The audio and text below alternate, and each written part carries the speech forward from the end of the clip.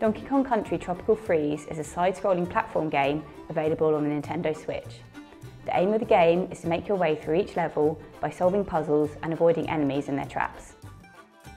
In this video, we will look at the game and the controls required to play it and any accessibility features that are available. In this video, we will be using the Nintendo Switch Joy-Cons to play this game.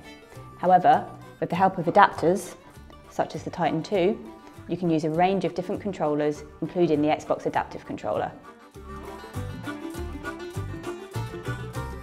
When you first turn on the game, you are asked to select which mode you want to play. The options are Funky Mode and Original Mode. This is where you decide how accessible you want the game to be. Original Mode plays the same as the original Wii U version of this game. Funky Mode is the more accessible of the two modes and might be helpful for some players. Items cost less in Funky's shop and some items are more effective. You can take up to five items into a level and set your items in the middle of a level.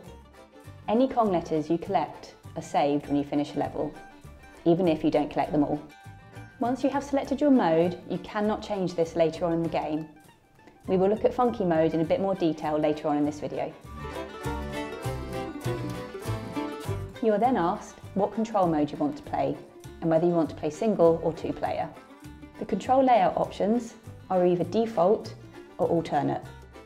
In both options, most of the controls are mapped to multiple inputs.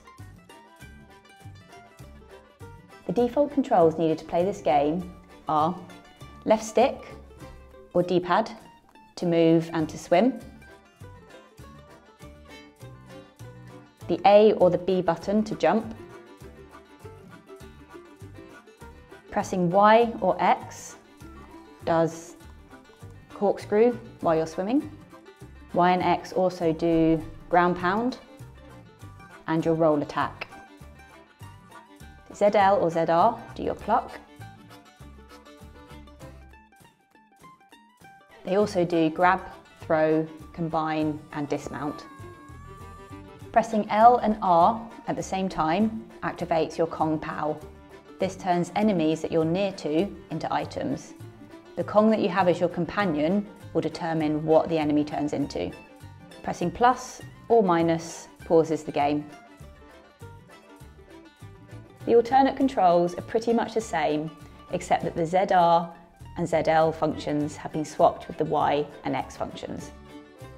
If you want to change your controller layout mid-game, you can press the plus or the minus button Select options by pressing A, go down to controls and select the controller you're using.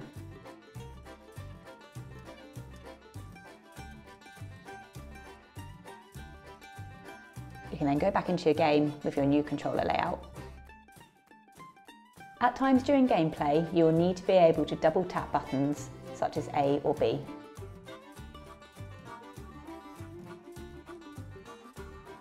You will also need to be able to hold buttons such as ZL or ZR.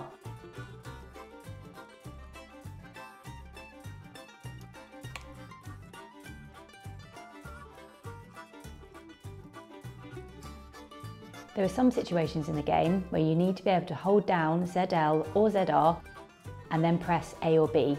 An example of this would be when you're jumping between vines. You need to hold ZL or ZR to cling onto them and then press A or B to jump between them. In the world map, you don't need as many controls. You use the left stick or D-pad to run around. And then press A when you're on the level that you want to enter. So once you've pressed A to select the level you want, you have an option to either play level or go into your inventory. In your inventory, this is where you select items that you want to take into the level with you. If these items are available, it might make the level a little bit easier. You press A on the item you want to take in, and then you press Y once you're done.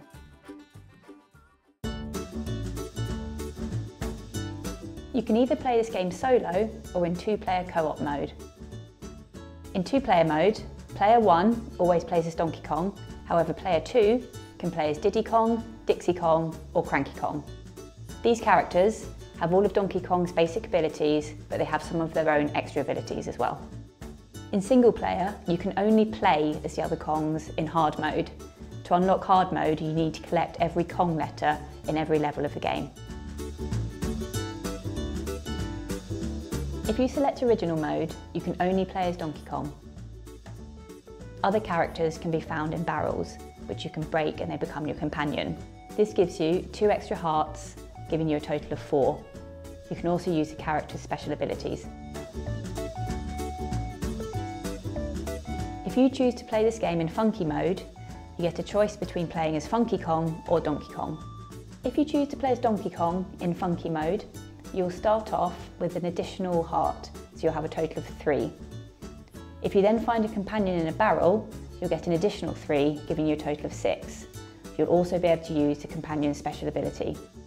The hearts in the top left-hand corner of the screen are your lives. The smaller hearts are your companion's lives. If your companion loses all his lives, he will disappear.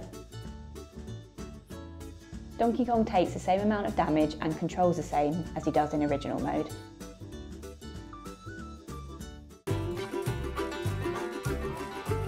In Funky mode, you have the option to play as Funky Kong. This could be the most accessible way to play the game. So when you play as Funky Kong, he starts off with five hearts. Funky Kong is able to breathe underwater. Funky Kong can constantly roll and corkscrew. If you play as Funky Kong, you will not have access to the other characters in barrels. You also cannot use the Kong Pow move. Funky Kong has got five hearts and will not take damage when you land on most spikes. However, enemies will still hurt you. Funky Kong can jump twice in midair, which means that you can jump higher. If you hold down the A or B button, you can also slow his fall. These options do make the game easier. However, there are some elements that might still be tricky you need to have good timing with your button presses. You need to be able to double tap the A or the B button to make Funky double jump. You also need to be able to hold the A or the B button to make him fall slowly. You need to be able to hold down ZL or ZR to climb up or along vines, keep hold of barrels before throwing them, and to also pluck out objects from the ground. Thank you for watching this video. If you have any questions about accessible gaming, please contact Special Effect.